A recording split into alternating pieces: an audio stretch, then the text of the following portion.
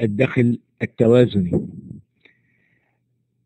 الله يحييكم جميعا أهلين يا وداد وأهلا وسهلا بالجميع. الآن بالطبع نحن كنا أخذنا في اللقاء الحي السابق انتقادات النظرية الكلاسيكية من طرف كينز. وفي أولا بعدين في ثانيا أخذنا فرضيات النظرية الكنزية فاليوم ثالثا حنستكمل ونأخذ النموذج الكنزي وتحديد الدخل التوازني.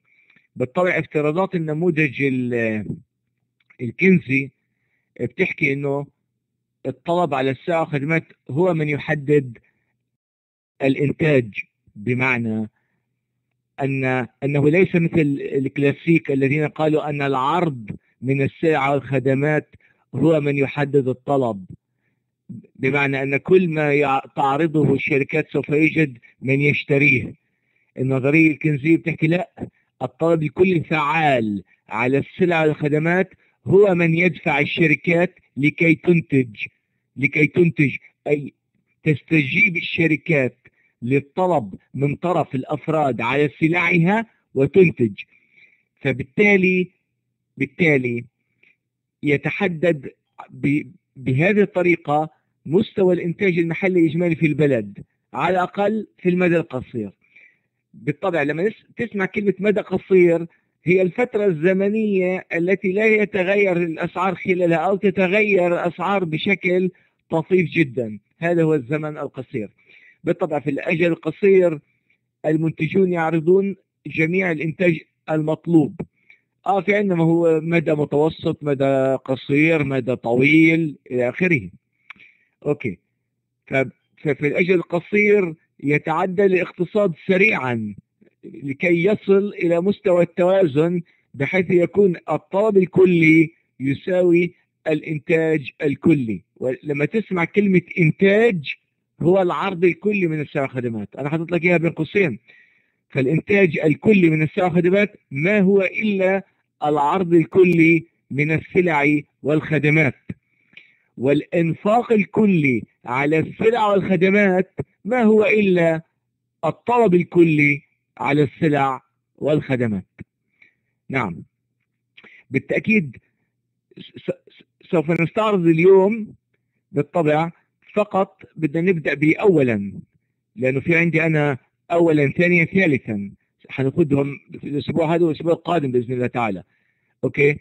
لكن الأسبوع هذا اللي نحن فيه حنأخذ فقط اولا هو تحديد توازن الاقتصاد مغلق مكون من قطاعي الأفراد ورجال الأعمال. أوكي؟ بعد ما نخلصه ممكن اليوم والأسبوع القادم ننتقل بعد ذلك إلى تحديد التوازن في اقتصاد مغلق مكون من ثلاث قطاعات ألا وهم قطاع الأفراد وقطاع رجال الأعمال والقطاع الحكومي. بعدين في ثالثا آه، بناخذ تحديد التوازن الكلي في الاقتصاد مفتوح اللي هو الأفراد ورجال الأعمال والحكومة والقطاع الخارجي. أوكي. أي واحد عنده أي سؤال بيستطيع ينتظر نهايه محاضره ويسألني إياه خصوصا إنه هي أسئلة عم تتكرر. متى بتنزل شرائح؟ متى بتنزل شرائح؟ صرت تساليني إياه عدة مرات. فأي واحد عنده أي سؤال تنظيمي ينتظر نهاية محاضرة بس تنتهي ويستطيع يسألني. أما بالنسبة للشرائح فأنا بنزلها تباعا. أنا بالنسبة للشرائح بنزلها تباعا. بالنسبة لأقفال الشات يا سارة الشيخ آه، صعب أقفل الشات لأنه سوف تتحول المحاضرة إلى آه، خطبة. وأنا لست خطيبا هنا. يعني خطبة جمعة. تتلقين ولا في نحن بدنا بدنا يكون في رايح جاي رايح جاي. يكون في نوع من من التواصل نوع من التفاعل نوع من هيك المحاضرة. نوع فهمت علي؟ آه أما إذا بدي أغلق الشات حولت لخطبه جمعه بلقي والسلام عليكم ورحمة الله وبركاته. قوموا إلى صلاتكم. انتهت محاضره نحن ما بدنا إياها هيك. بدنا اياه يكون في نوع من التفاعل. لكن أي واحد عنده أي سؤال تنظيمي يتركه للأخير. أوكي؟ رائع. إن كان يعني نبدأ باولا ألا وهو أولا تحديد توازن اقتصاد مغلق مكون من قطاعي الأفراد ورجال الأعمال. آه، بالطبع أنتم بتعرفوا إنه التوازن الكلي في الاقتصاد يتحقق زي ما حكينا سابقا عندما يلتقي منحنى الطلب الكلي مع منحنى العرض الكلي أي يتساوى أي يتساوى الطلب الكلي على السلع والخدمات مع العرض الكلي من السلع والخدمات. أوكي. الآن فأنا كتب لكم هون إنه التوازن يتحقق ال aggregate supply العرض الكلي من السلع والخدمات يساوي aggregate demand الطلب الكلي من السلع والخدمات اللي هو بيساوي الإنتاج الكلي. الإنتاج الكلي Y اللي رمزه Y أو العرض الكلي اللي رمزه Y يساوي الطلب الكلي في اقتصاد مغلق مكون من قطاعين هم مكون من C الاستهلاك أي قطاع الأفراد ينفق على شراء السلع والخدمات ويسمى إنفاقه طلبه على السلع والخدمات سي consumption. حكيناها سابقا. أما قطاع رجال الأعمال فهو يطلب يطلب آه، ويشتري الجرافات الكمبيوترات الآلات الماكينات لكي ينتج لكي ينتج ويلبي طلب قطاع الأفراد أو المستهلكين على السلع فهو ال investment I. فمجموعهم ال C زائد ال I بيعطيني إجمالي الطلب الكلي في اقتصاد مغلق مكون من الأفراد ورجال الأعمال okay؟ الآن فبتصير عندي المعادلة هي Y equal C زائد I الآن بخصوص السي بخصوص السي السي اللي هو الاستهلاك ال consumption ما هو؟ هو مقدار ما ينفقه القطاع العائلي أو قطاع الأفراد أو القطاع الاستهلاكي على شراء السلع والخدمات. 100 مليار 200 مليار هو إجمالي ما ينفقه هذا القطاع العائلي على شراء السلع والخدمات. حسب كنز فإن الاستهلاك يرتبط يرتبط طرديا مع الدخل. بمعنى كلما زاد دخل السعوديون أو السعوديين يزداد قدرتهم أو قوتهم الشرائية فيزداد استهلاكهم أو طلبهم على الخدمات وكلما قل دخل السعوديين كلما قل قدرتهم على الإنفاق أي قل استهلاكهم. أوكي؟ فهذا بالطبع الاستهلاك يرتبط بعلاقة طردية. عشان هيك حنشوف مع الدخل. عشان هيك حنشوف في الدال اللي تحت في الأسفل أسفل الشريحة لو نظرت إلى أسفل الشريحة تحت هتلاقوا في زائد إشارة زائد bY بالطبع Y تعني الدخل. قبلها في عندك زائد. الزائد تعني علاقة طردية يعني علاقة موجبة. آه والكلاسيك برضه زيهم يا يا ملهم الشمالي كلامك سليم. برضه عند كلاسيك يوجد علاقة أكيد طردية بين الدخل والاستهلاك شيء طبيعي. آه. الآن بالطبع لازم تعرفوا لازم تعرفوا إنه مش مش كل مش كل الدخل أحيانا يذهب إلى استهلاك. هناك جزء يتبقى ويذهب كمدخرات. أوكي؟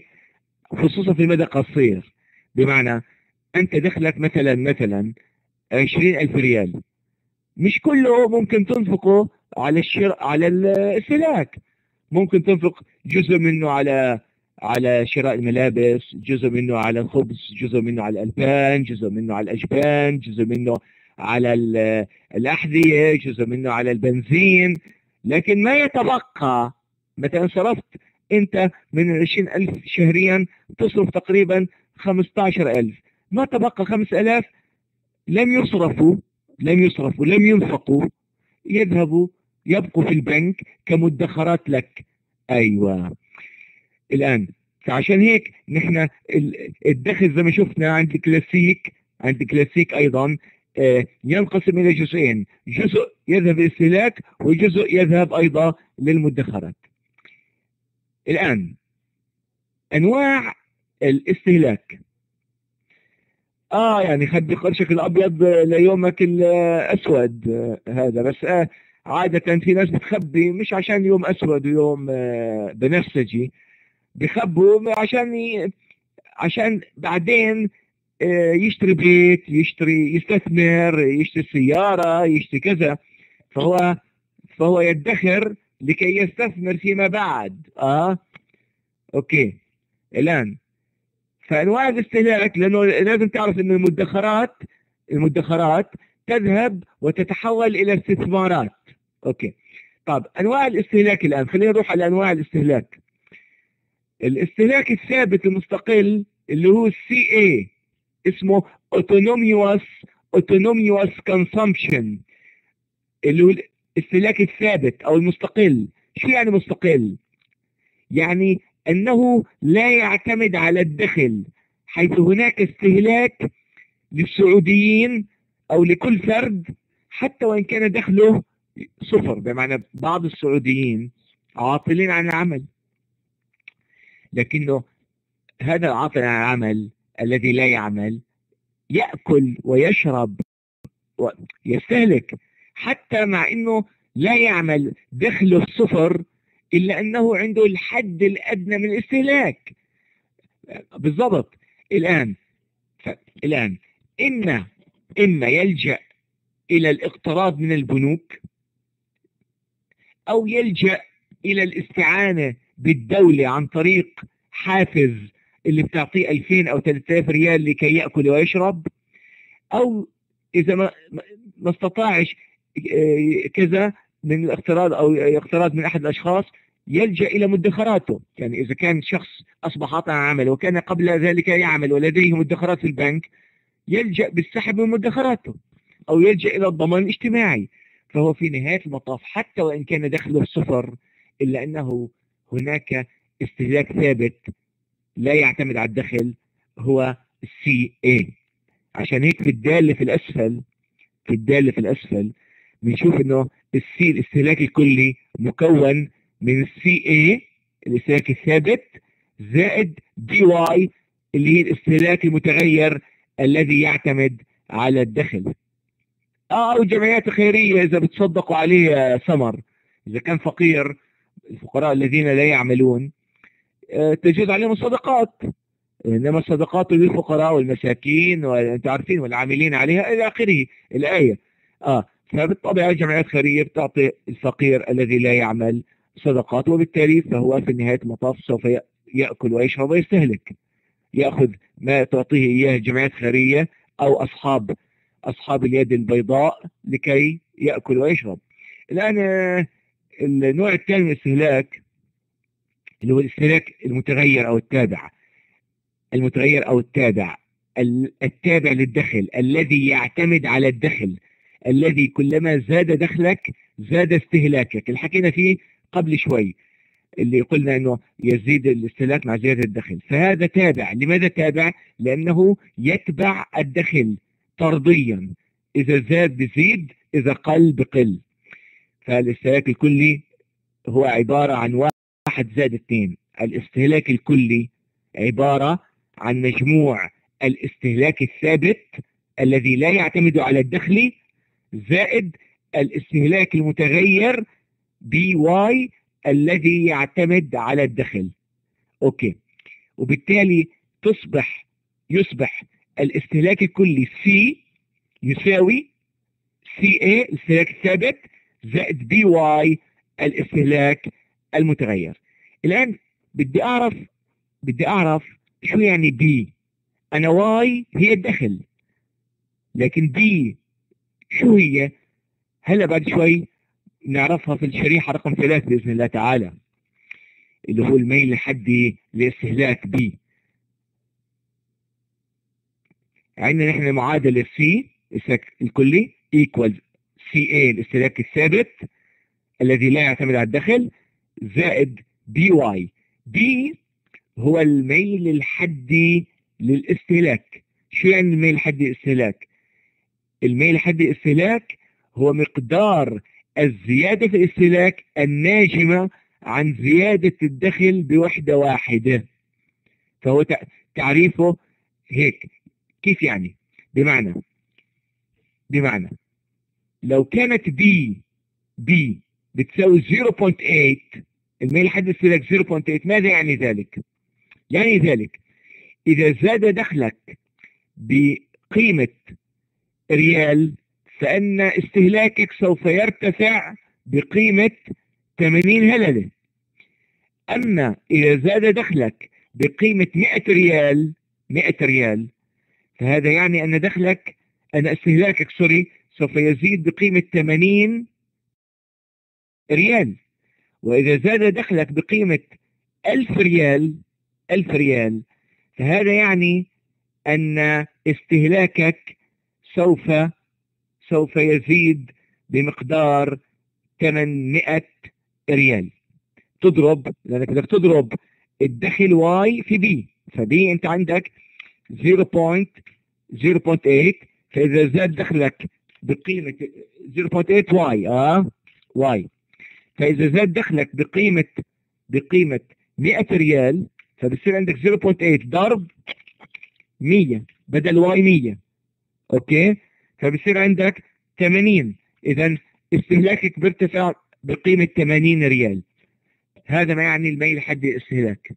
مقدار الزيادة في الاستهلاك الناجمة الناجمة عن زيادة الدخل بعدد بريال أو 100 ريال أو 1000 ريال أو كذا إلى آخره حسب okay؟ وهكذا. ف Y بالنسبة للاقتصاد الكلي واي الاقتصاد الكلي تعني الدخل القومي أو الدخل المتاح الذي لا يوجد فيه تدخل حكومي ولا فيه الصادرات لأن نحن نتحدث عن اقتصاد الآن مغلق مغلق مكون فقط من قطاعين قطاع الأفراد وقطاع رجال الأعمال دون وجود حكومة ودون وجود آه، آه، تعامل بالصادرات والواردات مع العالم الخارجي. أوكي. بالطبع زي ما أنت شايف الأصفر في الرسم الأصفر في الرسم هذا هو دالة الاستهلاك التي التي هي آه، آه، تتصاعد تتصاعد إلى أعلى إلى أعلى إلى أعلى إلى أعلى كلما زاد الدخل. لأنه كلما زاد الدخل ارتفع من Y 0 إلى Y 1 يرتفع الاستهلاك من C 0 إلى C 1 يرتفع الاستهلاك من C 0 إلى C 1 آه. أي مثال؟ المثال ما هو موجود أنا اعيده ما هو موجود. هي المثال حاطه أنا. المثال ها هو. مثال مكتوب أمامك. أنت مش مش شايف المثال؟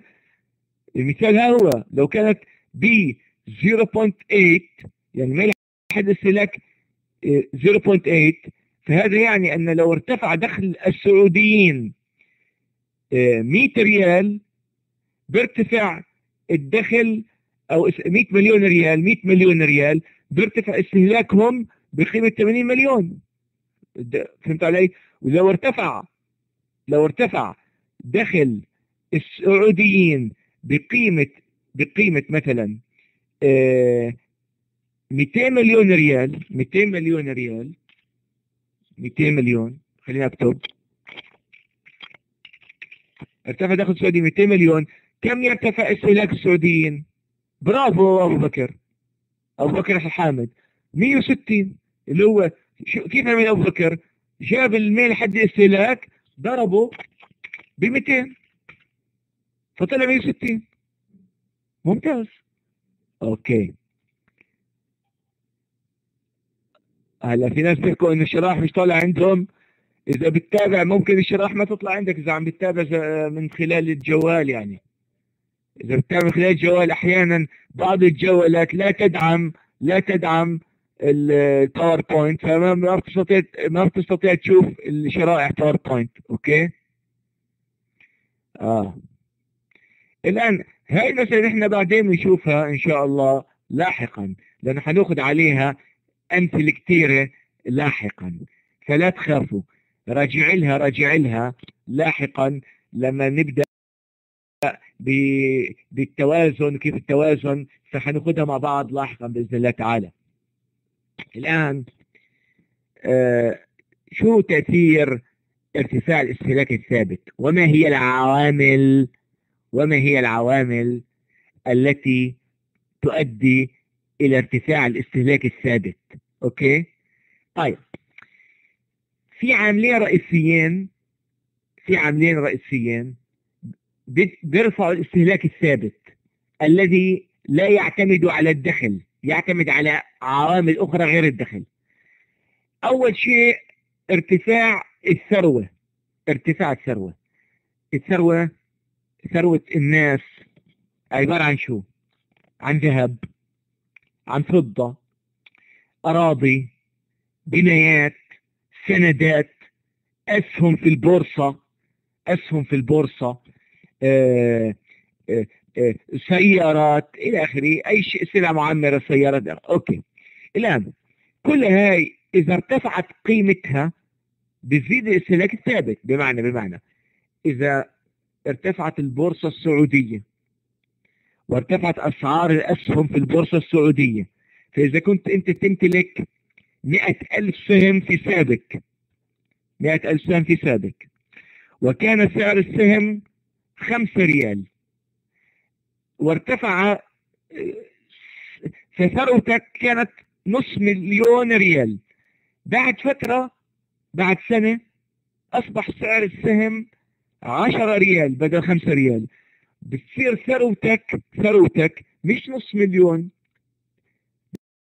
بتصير مليون كامل.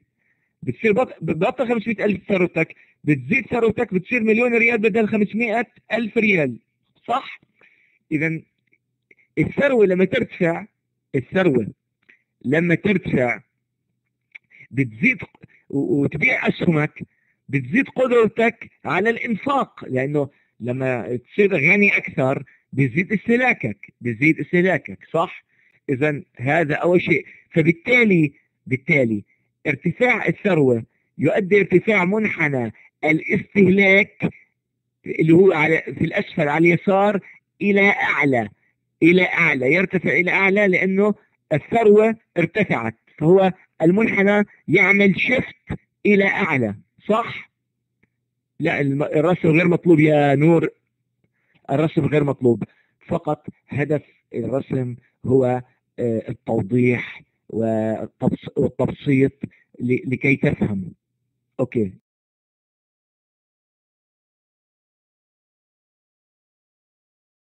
للفهم ولن يأتيك آه، أسئلة عليه بال بال شو اسمه يعني مش حطلب انك ترسم في الاختبار.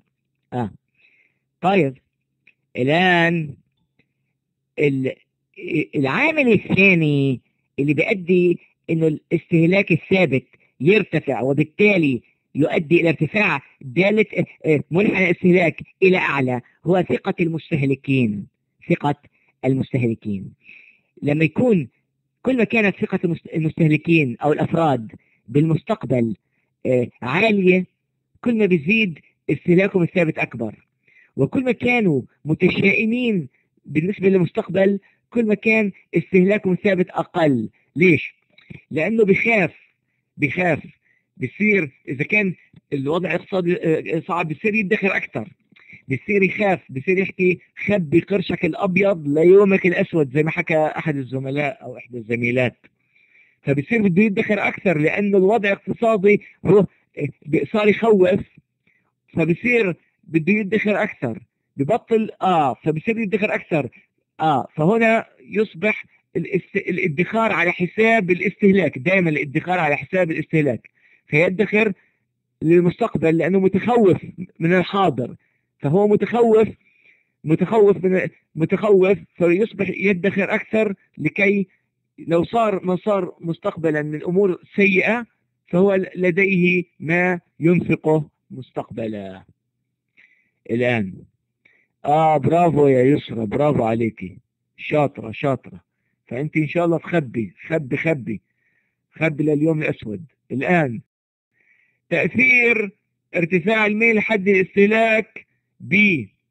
بس لا تخبي تحت البلاطة لا تخبي تحت البلاطة أو تحت الفرشة خبيهم في البنك okay؟ ليصير معك زي هالواحد. اللي انحرق بيته انحرق بيته كان حاطط مليون ريال جوا الفرشة. راحوا المليون ريال تبخروا. okay؟ الآن تأثير ارتفاع الميل الحدي للاستهلاك b من خلال نشوف كيف.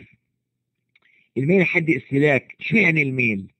الميل هو ميل الدالة. ميل آه الله يعوض عليه. ميل الدالة. كيف ميل الدالة؟ ميل الدالة اللي هي دالة الاستهلاك. الآن كيف بتميل الدالة لأعلى أو الميل هو الميل هو الانحدار. الميل هو الانحدار. لما تسمع كلمة ميل هو الانحدار. هل هو منحدر جدا أو قليل انحدار؟ كبير انحدار أو قليل انحدار؟ عرفت علي؟ آه. الآن أول شيء اللي بيزيد الميل الحدي للاستهلاك برفعه اللي هو إحنا نحن أخذنا مثال هون هون. قلنا لو كانت مثال لو كانت بي 0.8 الآن اللي بيرفع بي من 0.8 إلى 0.9 هو خليك معاي هو اولا التقديرات الشخصية للزيادة في الدخل. هل هي دائمة أم مؤقتة؟ بمعنى أنت كسعودي أنت كسعودي تعمل في شركة أو تعمل في القطاع الحكومي. إذا كنت بتعرف بتعرف انه كل سنة كل سنة حيجيك زيادة سنوية على راتبك خمسة في المية خمسة في المية. فبالتالي بالتالي حتزيد كل سنة حيزيد ميلك للاستهلاك أعلى. okay؟ بيزيد ميلك للاستهلاك لأنه أنت عارف والله أنا السنة الجاية بده يجيني 5% على الراتب. okay خليني أستهلك بتصير ترتب أمورك إنه يزيد استهلاكك لأنه عارف إنه بده يجيك زيادة سنوية. okay أما لو كنت آه آه آه بزيد استهلاك أما لو كنت انخفضت أسعار النفط. انخفضت أسعار النفط والحكومة أعلنت أعلنت إنه والله زيادات سنوية للموظفين في الدولة للسنة الجاي ما في زيادات سنوية ما في زيادات سنوية أوقفنا الزيادات السنوية عندها عندها. حيقل ميلك حيقل ميلك للاستهلاك. حينخفض أيوة. حيقل ميلك لاستهلاك برافو عليك. أيوة. فهنا هي اثنين اثنين صحيح علاقة عكسية. اثنين انخفاض ضريبة الدخل. برضه علاقة عكسية انخفاض ضريبة الدخل آه، أو زيادتها. فانخفاض ضريبة الدخل يعني إذا انخفضت ضريبة الدخل فبيزيد الدخل المتاح ليش بيزيد الدخل المتاح لأنه الدخل المتاح خليني أكتب لك إياها. أكتب لك إياها. أخذناها المرة الماضية. آه، الدخل المتاح خليك معي يساوي الدخل الكلي مثلا أو الشخصي. الدخل الشخصي ناقص الضرائب. ناقص الضرائب. هاي كتبتها. بمعنى كرموز. خليني أكتب بالإنجليزي كرموز. Y sorry. Y D. Y D. Disposable income equal ال Y الدخل. دخلك إجمالي مثلا. مطروحة منه. T ال taxes ضرائب. فالآن إذا انخفضت الضريبة إذا انخفضت الضريبة إذا أنت راتبك ال Y ال Y راتبك 10000 ريال. والدولة بتاخذ منك ضريبة 1000 ريال. الدخل المتاح المتبقي لك كم بيكون؟ 9000 رائع رائع. إذا أنت عندك قدرة تصرف ال 9000 كاملين وتنفقهم على الاستهلاك.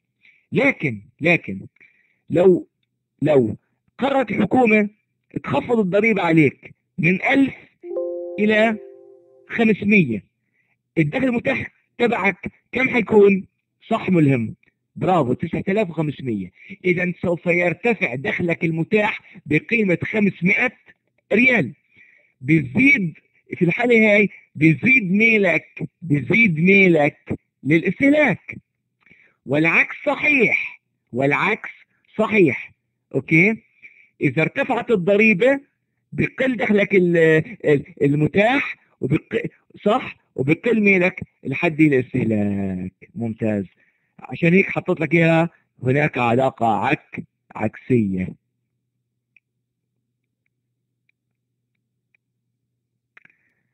آه, آه برافو برافو حمد.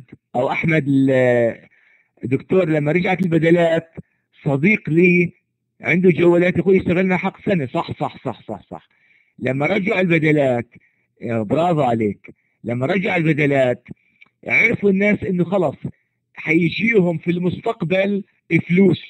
فزاد ميلهم للاستهلاك. برافو. هذا المقصود فيه. هذا هو المقصود فيه. فبيزيد الميل الاستهلاك. برافو. أيوه لأنه عرفوا الناس إنه بعد شهرين ثلاثة الدولة حتنزل لهم بدل بدلات يرجعوا لهم البدلات ياخذوها منهم. ففورا راحوا الناس يشتروا جوالات واشتروا صاروا يشتروا بزيد منه استهلاك. آه ضريبة T T الضريبة رمزها taxes T آه طيب منيح. الآن نروح للشريحة اللي بعدها اللي هي قبل الأخيرة.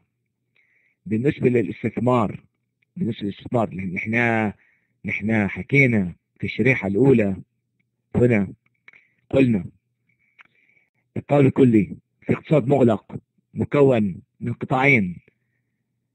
مكون الطلب الكلي من الاستهلاك C ومن الاستثمار I من الاستهلاك C الطلب على السلع الاستهلاكية من طرف الأفراد والطلب على السلع الرأسمالية من طرف رجال الأعمال اللي هو آي. خلينا نروح على الآي الآن. خلصت استهلاك خلينا نروح أشوف الآي. بالنسبة لاستثمار الآي اللي هو طلب رجال أعمال على السلع الرأسمالية من آلات وجرافات وعدد وماكينات هو ثابت. هو ثابت لا يعتمد على الدخل أي أنه مستقل عن الدخل. يعتمد على عوامل أخرى. شو العوامل اللي يعتمد على الاستثمار؟ أنا مش في معرض الحديث عنها الآن لكن ممكن أذكر لكم سريعا الأرباح التي يتوقعها رجال الأعمال. اثنين الضرائب المفروضة من طرف الدولة على رجال الأعمال. ثلاثة سعر الفائدة أو سعر الاقتراض من البنوك. أربعة إلى آخره. آه. عوامل أخرى غير الدخل. أربعة آه، آه، الطلب القوة الشرائية للناس التي تطلب السلع من رجال الأعمال. أيوة. فبالتالي الاستثمار لا يعتمد على الدخل وإنما يعتمد على أمور أخرى غير الدخل. الآن. الأسهم يا إيمان رصيد ولا تيار؟ مين بيعرف يجاوب إيمان؟ إيمان سأل سؤال حلو. آه الأسهم برافو مين جاوب يا رصيد. فاطمة آه فاطمة والجميع آه آه آه. أيوة رصيد. هو رصيد. الرصيد برافو. حلو. الآن التقاء. برافو. الجميع جاوب برصيد تقريبا. ثروة هي رصيد. آه. لأنه ثابت في لحظة زمنية معينة زي ما كتبت الأخت داليا هو ثابت خلال فترة زمنية معينة. برافو. الآن نرجع لموضوعنا. بالتالي الطالب الكلي في اقتصاد مغلق مكون من قطاعين سيكون بجمع الاثنين معا الطالب الاستهلاكي سي والطالب الاستثماري اي فبالنسبة للانتاج العرض الكلي يمثله حكينا خط ال 45 العرض الكلي لازم تعرف إنه العرض الكلي من سعر خدمات يمثل خط الدخل. خط الدخل هذا الخط الأزرق. شفت الخط الأزرق في الأسفل؟ هذا الخط الأزرق هذا الخط هو خط الدخل أو خط الإنتاج أو خط ال 45 كلها مسميات لشيء واحد. أو خط أو منحنى العرض الكلي من الساعة وخدمات فالخط الأزرق هو خط الدخل.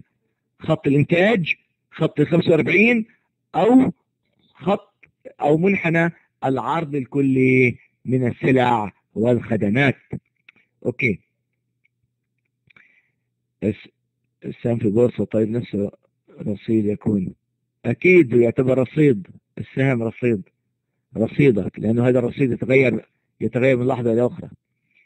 الآن التقاء منحنى الأصفر اللي أخذناه هون طلع. نحن أخذنا هون منحنى أصفر منحنى الاستهلاك. شايف المنحنى الاستهلاك؟ هذا منحنى الاستهلاك. خليك معي. الآن في الاستهلاك في أقصى في, في أقصى اليسار في أقصى اليسار في عندي هذا منحنى الاستهلاك اللي هو C equal C A استهلاك ثابت زائد استهلاك متغير. وعندي في الوسط الاستثمار ثابت شايف ثابت خط أفقي لا يعتمد على الدخل. مهما تغير الدخل Y يبقى الاستثمار ثابت. okay. نجمع الأحمر الاثنين مع بعض. إذا جمعناهم الاثنين مع بعض اللي لونه أحمر بيعطيني الأصفر اللي فوق بيعطيني C زائد I في أقصى اليمين بيعطيني الأصفر اللي فوق.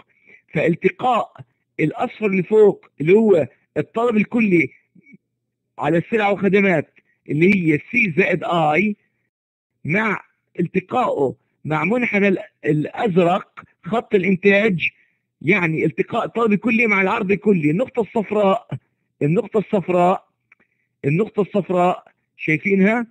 اللي هي في أقصى اليمين في الأسفل التقاء الأصفر مع الأزرق هاي نقطة التوازن.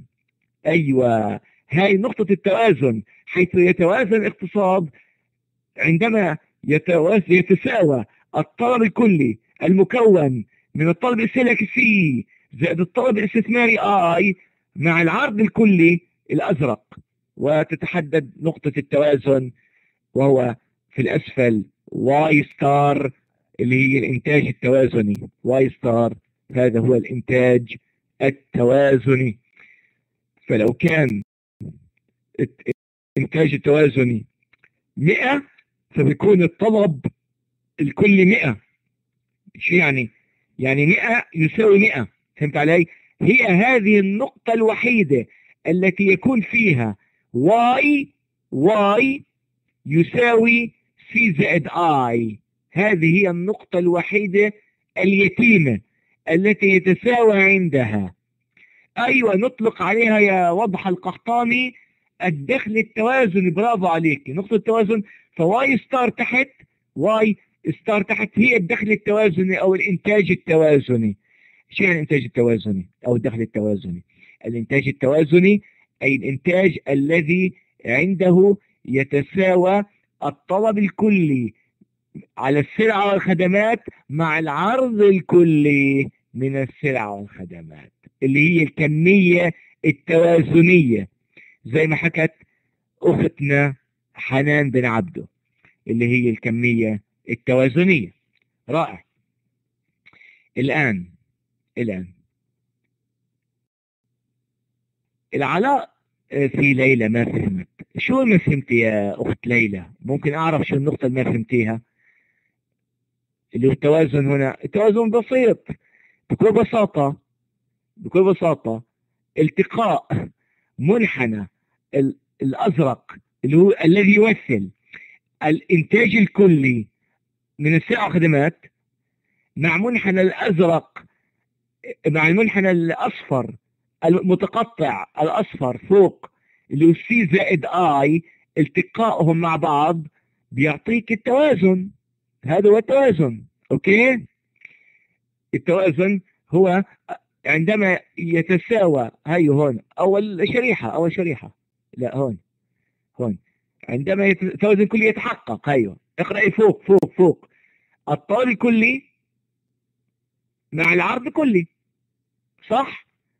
اذا عندما تساوى واي مع سي زائد آي واي الانتاج وسي زائد آي الطلب الكلي طلب سي طلب الاستهلاك الاستهلاك أو المستهلكين و I طلب المستثمرين. أوكي. فهنا يتساوى Y. اللي هو ال Y اللي هو الأزرق ال Y ال Y اللي هو الأزرق والأصفر هو مين؟ هو C زائد I يلتقوا عند النقطة يلتقوا عند نقطة التوازن. إنه هون آه نحن هون C زائد I اللي هو بدنا نعتبر إنه ما في ادخار. آه اعتبر إنه كل الدخل كل الدخل يذهب إلى الاستهلاك فرضا. كل الدخل يذهب وحتى لو حتى لو في ادخار عادي عادي. لو في ادخار عادي. ما هو الادخار جزء منه يذهب I استثمارات يا حبيبي. ما هو ما هو السي زائد آي هي الاستثمارات الاي عبارة عن شو؟ الاستثمارات هي عبارة عن مدخرات حولت إلى استثمارات ال I فيما بعد فيما بعد. عن طريق البنوك. يعني أنت باقي فلوسك التي لا تستهلكها تبقى في البنك. البنك يأخذها ويقرضها لرجال الأعمال الذين يأخذون تلك الأموال ويستثمرونها. يشترون فيها آلات يشترون فيها جرافات وينتجون ويبيعون. أيوة. فعادي حتى لو كان في ادخار عادي. أوكي. وصلت وصلت. ممتاز إنها وصلت. الآن آه، شو العلاقة بين الاستهلاك والادخار؟ شو العلاقة بين الاستهلاك والادخار؟ هذا حكينا فيه عندما تحدثنا آه، عن المدرسة الكلاسيكية في اللقاء السابق.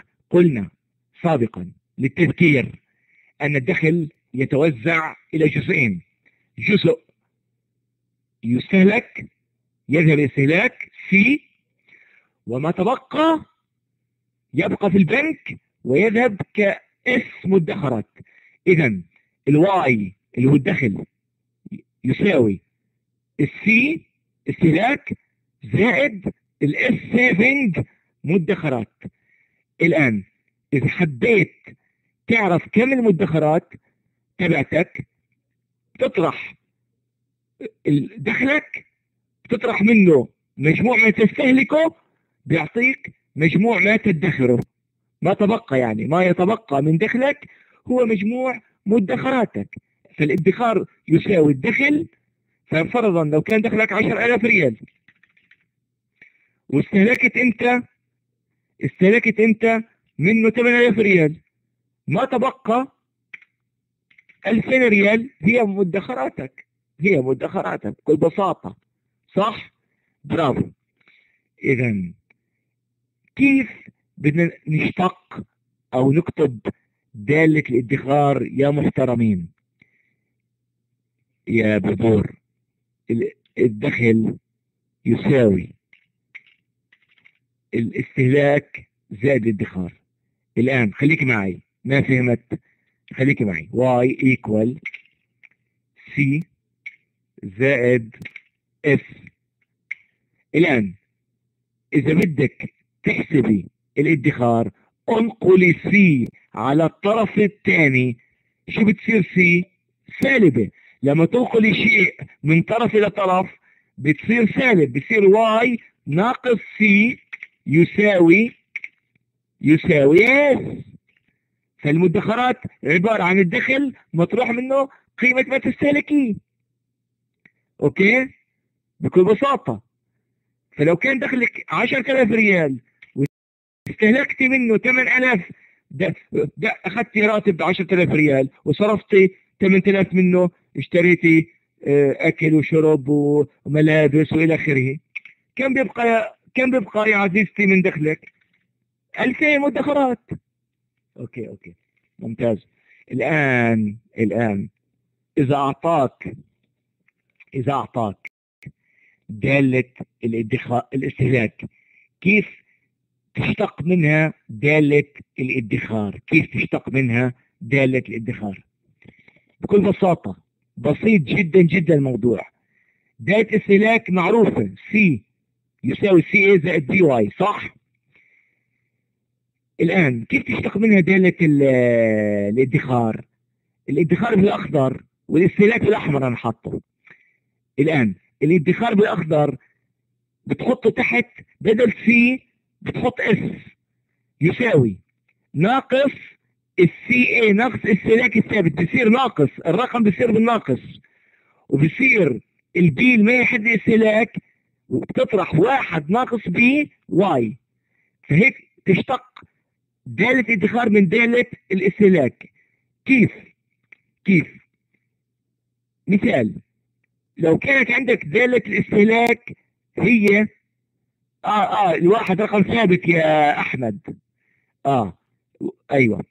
فلو كان عندك الآن دالة الاستهلاك اللي بالاحمر هي سي يساوي 50 استهلاك ثابت 50 زائد 0.75 هاي B الميل حد الاستهلاك B 0.75 Y. أوكي؟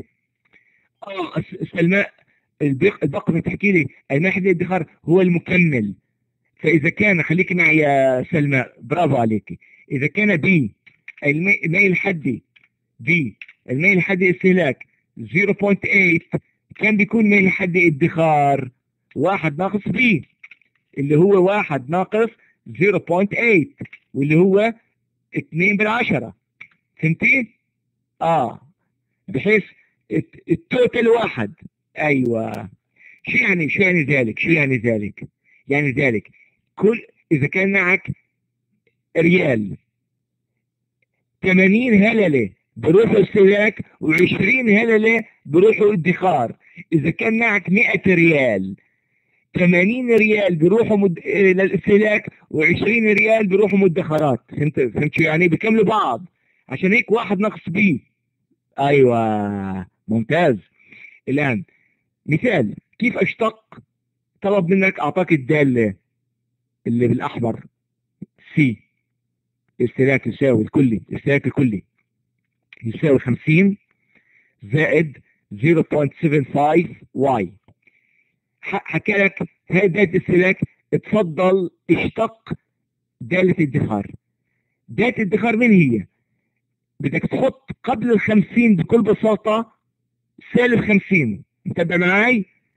سالب 50 وتيجي تحط الرقم اللي جنب ال Y اللي هو ال b تحط واحد ناقص 0.75 فب... واحد ناقص على الآلة الحاسبة اللي كله معه اله حاسبة الآن. واحد ناقص 0.75 بصير 0.25 المكمل.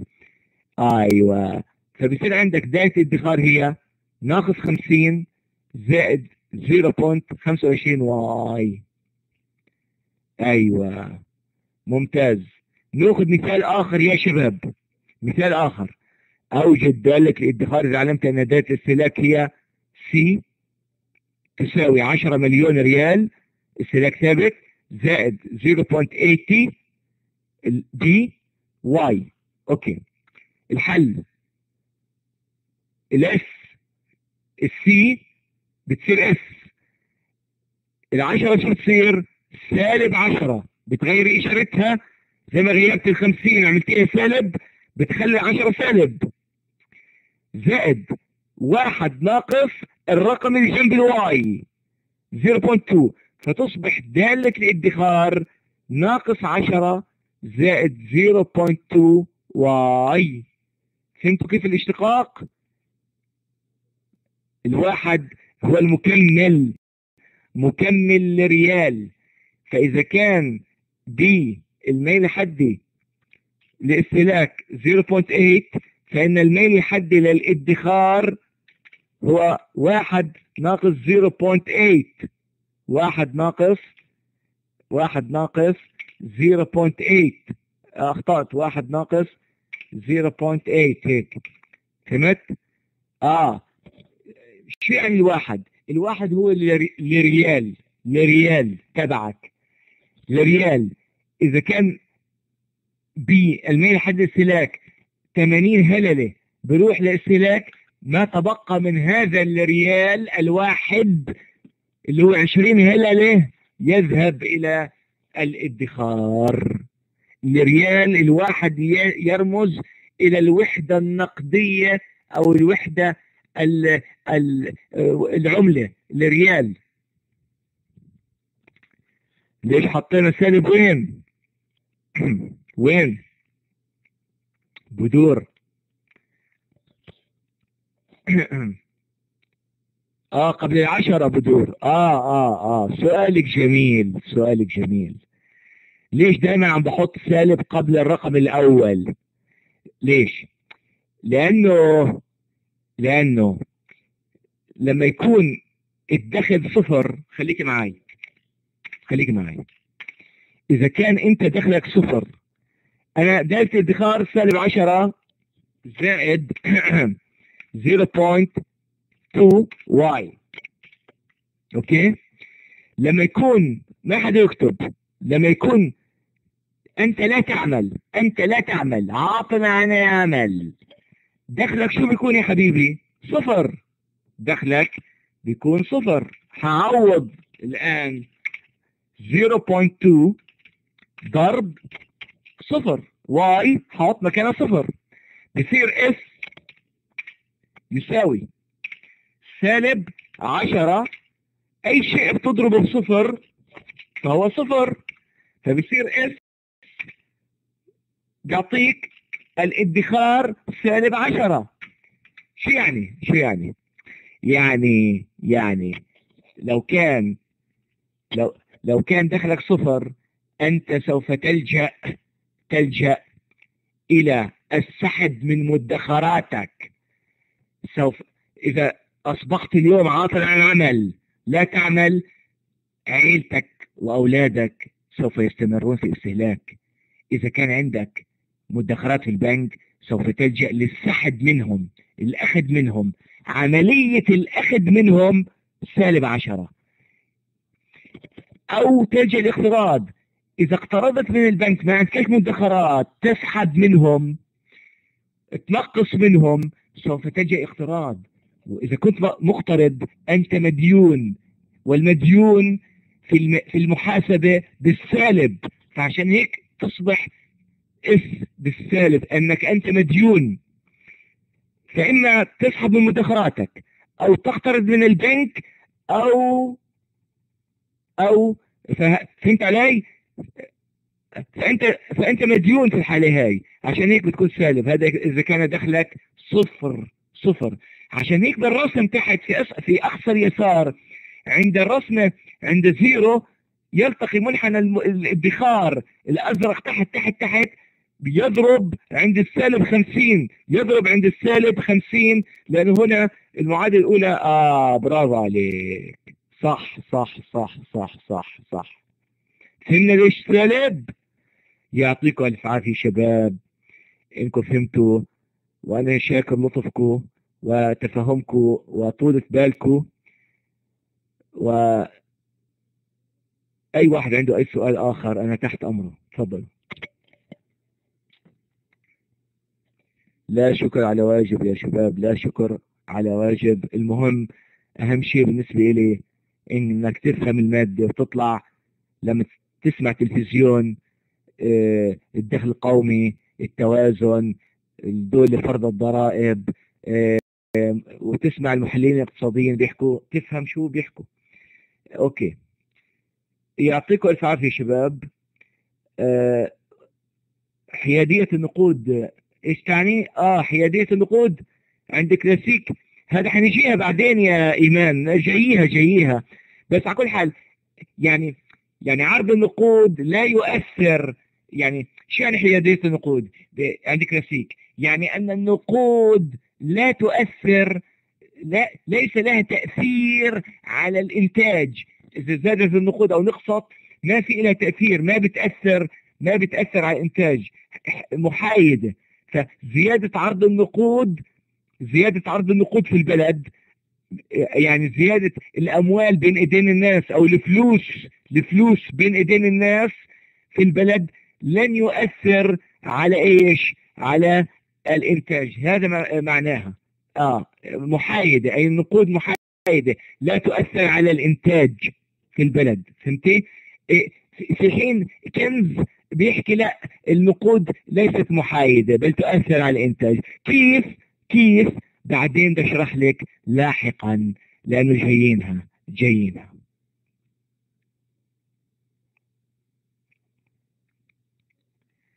آه. الآن أوكي. أنا من الأردن يا سمر. أردني. Okay. لا آه okay. ما بتأثر هذا عند الكلاسيك. أما عند كينز بتأثر. ما هو كينز عكس الكلاسيك. آه.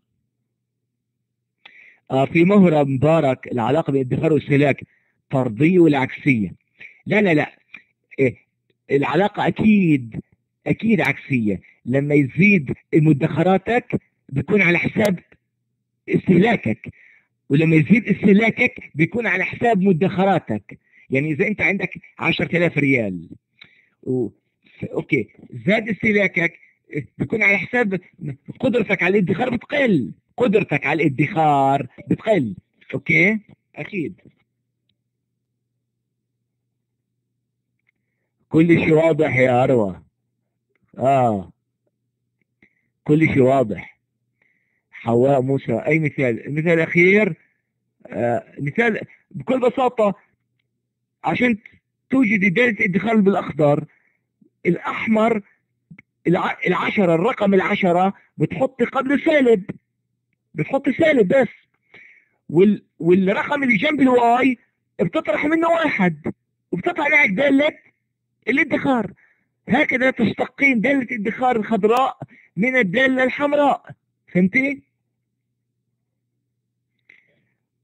آه يا سعر الفائدة بيأثر على بتأثر بعرض النقود يا ملهم. حنشوفه بعدين بعدين. سعر النقود بتأثر بعرض النقود أكيد. أكيد. آه، أوكي الله يعطيكم العافية شباب. شاكر لطفكم ونلتقي إن شاء الله بإذن الله تعالى يوم الاثنين القادم عشان آه، نكمل نكمل ونشوف مع بعض كيف يتحدد الدخل التوازن كيف أحسب كيف أحسب بالضبط الدخل التوازني في الاقتصاد المغلق المكون من قطاعين رجال أعمال والقطاع الحكومي أو قطاع قطاع رجال الأعمال وقطاع الأفراد. بعدين بعدها نأخذ قطاع رجال الأعمال وقطاع الأفراد والقطاع الحكومي وبعدها بنكبر النموذج أكثر وبناخذ الاقتصاد المفتوح قطاع الأفراد وقطاع رجال الأعمال والقطاع الحكومي والقطاع الخارجي بإذن الله تعالى. فإلى ذلك الوقت أستودعكم الله والسلام عليكم ورحمة الله تعالى وبركاته.